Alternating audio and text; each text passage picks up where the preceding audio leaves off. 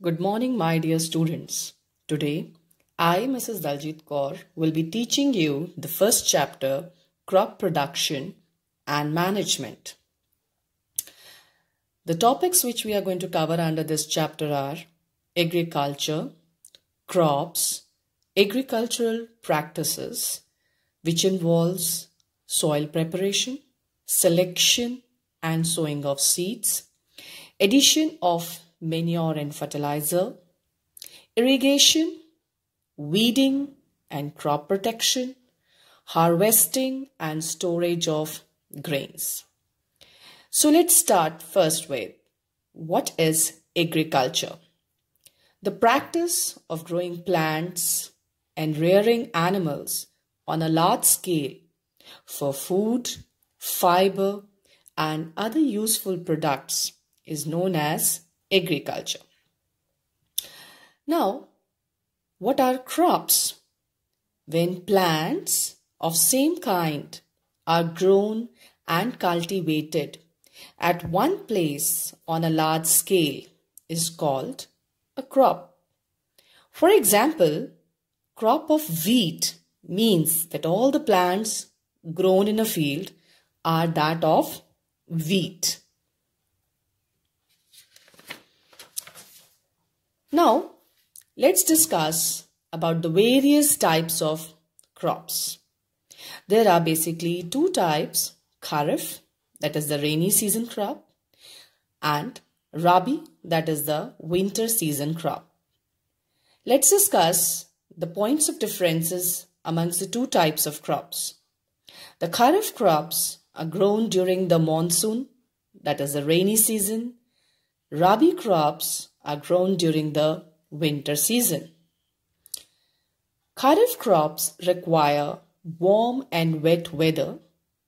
Rabi crops require cold and dry weather. Kharif crops are sown in June or July and harvested in September or October. Rabi crops, on the other hand, are sown in October or November and harvested in the month of March or April.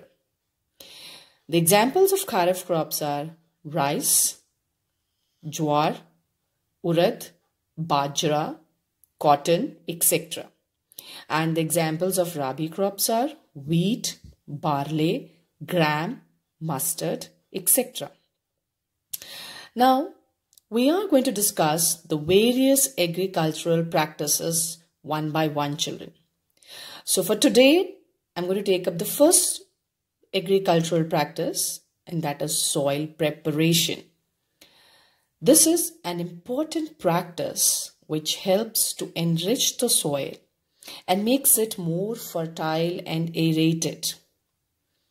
It involves basically turning and loosening and leveling of the soil using agricultural implements like spade, plow, or mechanical farm implements. Now, what are the advantages of the method of soil preparation? This step allows the roots to penetrate deep into the soil. The loose soil allows the roots to breathe easily even when they go deep into the soil. The loosened soil also helps in the growth of earthworms and microbes present in the soil. These organisms are friends of farmer children since they further turn and loose the soil and they add humus to the soil. Now, soil preparation basically involves two steps. Let's discuss those two steps.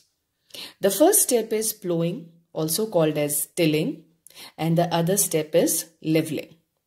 Let's first discuss about plowing. The process of loosening and turning the soil using a tool or an implement called plow is called plowing. Here I want to share a fact with you children.